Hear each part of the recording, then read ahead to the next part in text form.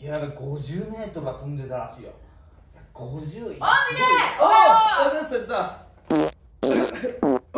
あお前週末元気にしてたかお前。あいや元気でしたよ。なあはい。元気だったか。え？からあれですよねう海行ってたんですよね。あ海行ってきたよ。あインスタで見えましたよ。えマジサメだ。マジバカでかくて追っかけてやろうと思って巣まで行ってさ。やべえっすねやべやべえよマジで。あ？おめえ何平行いてんだよおめえ。すすすでおいちょくそくそお前マジかよすいません。おいこいつ平行いたんですけど。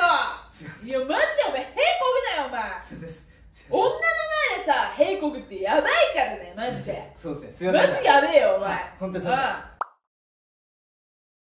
はいみんな授業始めます。席ついてください。はい、席ついて。はい。はいみんな席ついて。よ。はい。うん。はい、もう引き受けとこ全員出して。よしじゃあみんなも席つこうか。教科書ないやつは、ちょっと隣のやつ見せてもらうよ。オッケーありがとう。席ね。席つこう。はい。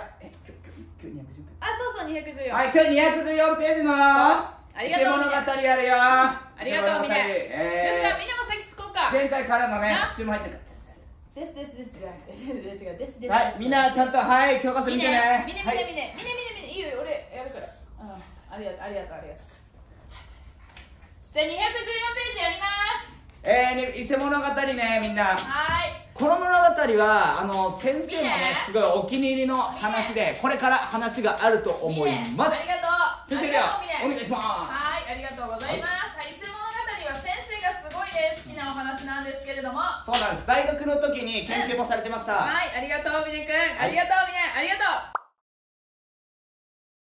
えみんな先生たちの結婚式のムービー撮ろ？うオッケーオッケえ集まってみんな。ーえみんな来て。じゃあみねくんが鈴木先生のうんあ私がごめんオッケー。オッケーオッケーオッケーいくよ。えー小林先鈴木先生！生ご結婚おめでとうございます！えー先生たちの幸せでした！せーの。大大大大大発射！いよいよ今日だね。何が？いや今日の5時間目。いやだから何が？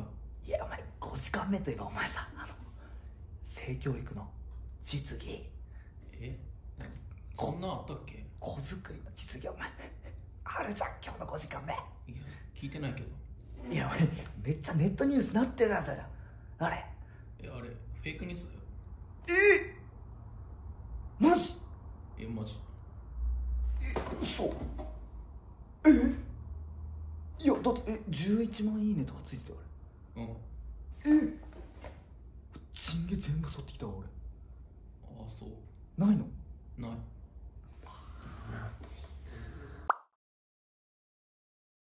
えー、みんな卒業おめでとう。あの実は先生みんなに隠してたことがあります。先生実はロボットでした。えー今まで、えー人間のように接してて本当にすいませんでした。あのねあのロボットに、えー教えられてると思うとね、えーみんなのこの自己肯定感とかがすごい下がってしまうかもしれないということで、え先生はずっとロボットであるということを隠してきました。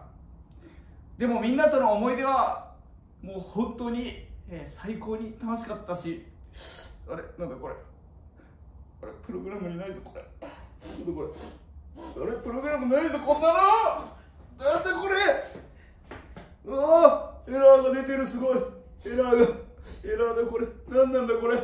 みんな教えてくれ先生にも。先生。何なんだこれ。それが涙です